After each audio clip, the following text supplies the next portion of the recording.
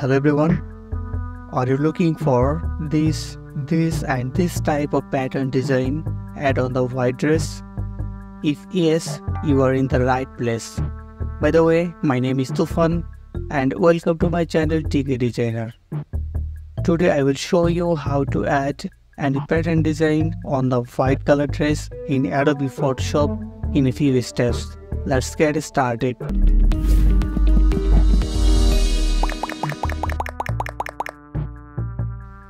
Have a look. Here's the photo of the girl who is wearing white t-shirt. We have to add pattern on this white dress.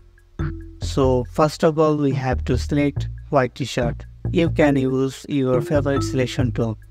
Go to the left toolbar and select from here quick selection tool and you can press W from your keyboard to select the quick selection tool easily now drag over the dress to select the area.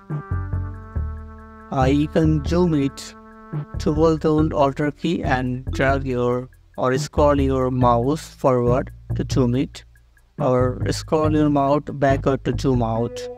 Now I will draw a hair to remove some selection area.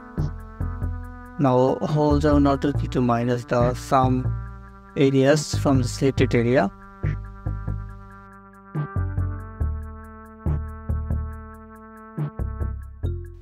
Now click on the background layer and press Ctrl J from your keyboard to copy the selection area. Now rename it to double select and keep the name trace. Press enter.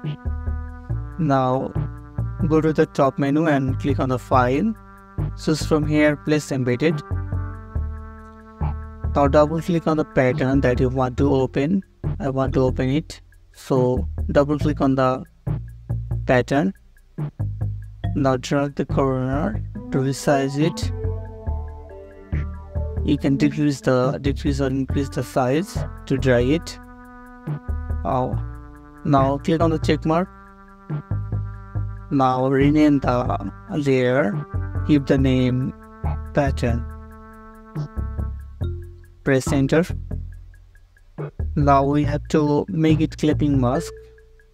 There is two way to make it clipping mask. First one right click on the layer and just from here create clipping mask. Press ctrl j to backward. Now second one is hold down Alt key and click under the pattern layer to make it clipping mask. Now go to the blending mode and select from here multiply now double click on the pattern layer drag the photo left and now have a look underline layer.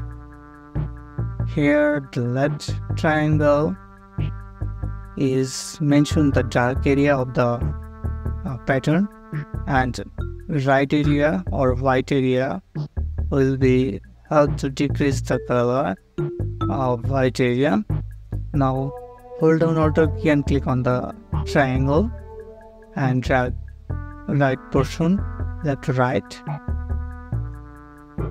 Key here and click hold down and click on the right angle.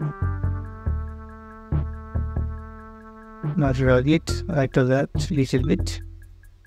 Now it is done. Have a look.